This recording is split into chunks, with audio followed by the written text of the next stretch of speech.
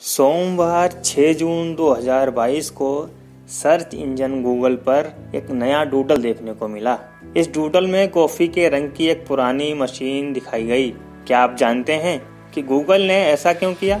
अगर नहीं तो आइए बताते हैं। यदि गूगल को पूर्व काल के किसी विशेष व्यक्ति के सम्मान में श्रद्धांजलि अर्पित करनी हो तो वह उस व्यक्ति से जुड़ा विशेष डूडल तैयार करता है। इस बार पहली कॉफ़ी मशीन का डूडल तैयार कर उसने इस मशीन के आविष्कारक को याद किया। यह डूडल ओलिविया वैन ने बनाया है। आपको बता दें कि इस कॉफ़ी मशीन को एक्सप्रेसो कहा जाता है।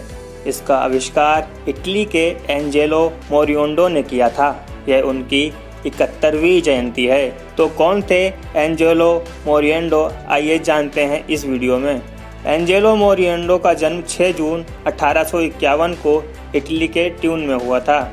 वह एक व्यावसायिक परिवार से ताल्लुक रखते थे। उनके दादा ने एक शराब उत्पादन कंपनी की स्थापना की थी। बाद में इस कंपनी को उनके बेटे, यानी एंजेलो के पिता को सौंप दिया गया था। बाद में उन्होंने अपने भाई को और चचेरे भाइयों को साथ लेकर chocolate company Mariodo and Gariglio की स्थापना की, जो बहुत लोकप्रिय हुई। अपने पारिवारिक लोगों से प्रभावित होते हुए मोरियोडो ने दो प्रतिष्ठान खरीदे। पहला शहर के केंद्र पियाजा फेलिस में ग्रैंड होटल लिगुर और दूसरा गैलेरिया नाजियोनेल में American bar Via Roma. Italy में कॉफ़ी बहुत लोकप्रिय थी, मगर ग्राहकों को बहुत असुविधा होती थी क्योंकि उन्हें कॉफ़ी के लिए बहुत इंतज़ार करना पड़ता था।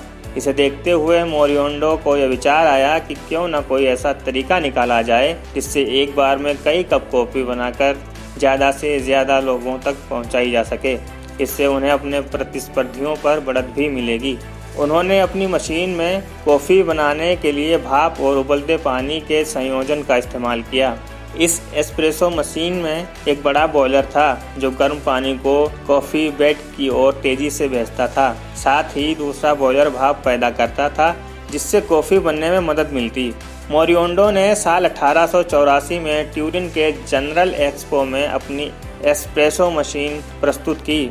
इससे पहले उसे एक मैकेनिक की निगरानी में रखा गया। जनरल एक्सपो में इसे कांस्य पदक से सम्मानित किया गया। 23 अक्टूबर अठारह को पेरिस में रजिस्ट्रेशन के बाद एक अंतर्राष्ट्रीय पेटेंट द्वारा आविष्कार की पुष्टि की गई।